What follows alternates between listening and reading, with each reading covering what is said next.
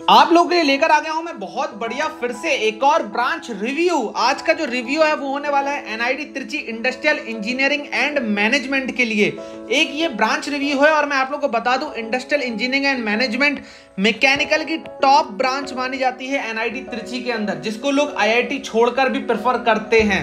आप लोगों को बताना चाहूँगा अन लेकर आए हैं battle ground is ready emerge victories like a warrior in your GATE journey यहाँ पर अकेडमी कराने वाला है full length GATE mock test जैसे कि आप लोग का गेट एग्ज़ाम बहुत ही ज़्यादा पास है।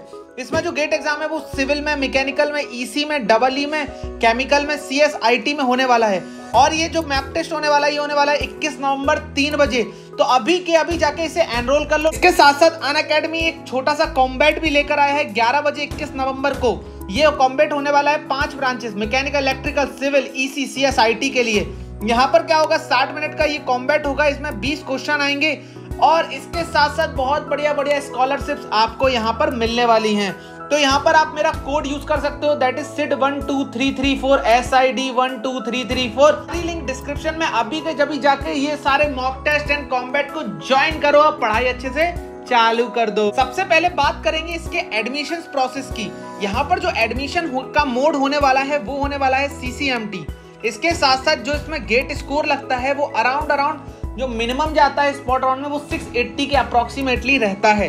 इसके साथ साथ मिनिमम सीजीपीए इस ब्रांच में आने के लिए आपको 6.5 या 60 परसेंट रिक्वायर्ड हो अब कुछ बेसिक बात करूँगा। इसका जो डिपार्टमेंट है तो ये डिपार्टमेंट है प्रोडक्शन इंजीनियरिंग जिसके अंदर ये आईईएम ब्रांच आती है।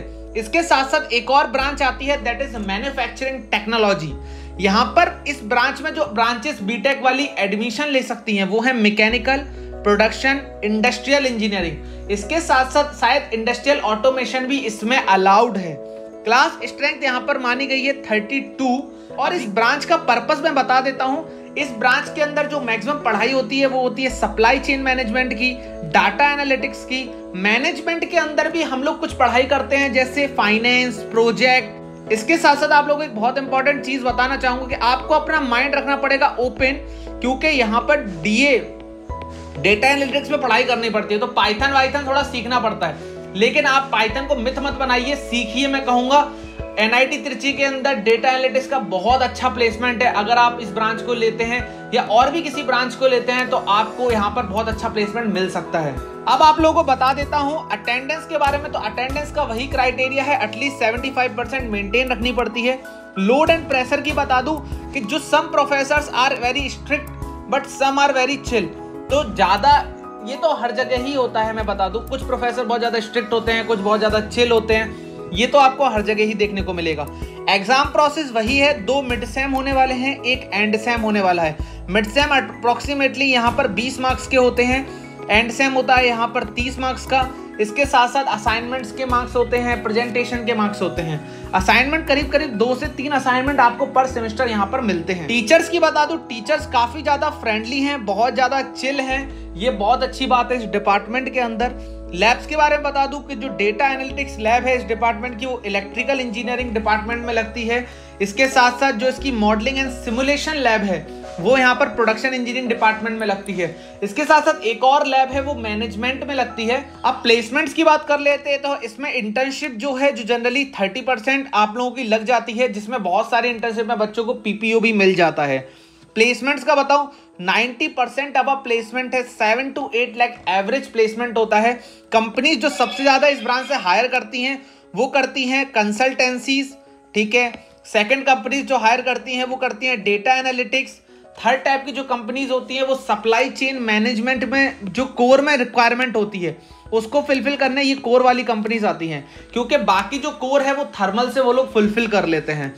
कंपैरिजन बताऊँ, एक आईएम ब्रांच है और एक है इंडस्ट्रियल सेफ्टी इंजीनियरिंग आप दोनों ही ब्रांच को किसी को भी प्रेफर करिए। इंडस्ट्रियल सेफ्टी इंजीनियरिंग का प्लेसमेंट आईएम से भी बेहतर हो रहा है। जबकि इंडस्ट्रियल सेफ्टी काफ़ी नई ब्रांच है।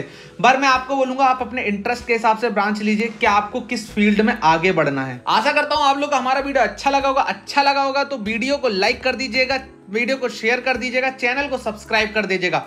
और बढ़िया बढ़िया अपडेट के लिए हमारे टेलीग्राम चैनल को एफ़ चैनल को इंस्टा को फॉलो कर लीजिए। और कोई भी क्वेश्चन आप मुझसे इंस्टाग्राम पर पूछ सकते हैं। मैंने एक ग्रुप बनाया है that is placement preparation group उसकी लिंक मैं डिस्क्रिप्शन में दे रहा हूँ, उसे तुरंत ज्वाइन कर लीजिए, क्योंकि अभी आपके प्लेसमेंट्स आएँगे तो आपको बहुत ज़्यादा हेल्प मिलेगी इस ग्रुप के थ्रू तो आज का वीडियो इतना ही था, अब मैं चलता हूँ, आप लोगों से विदा लेता हूँ, बने रहें, जुड़े रहें सिद्धार्थ लाइफ के साथ।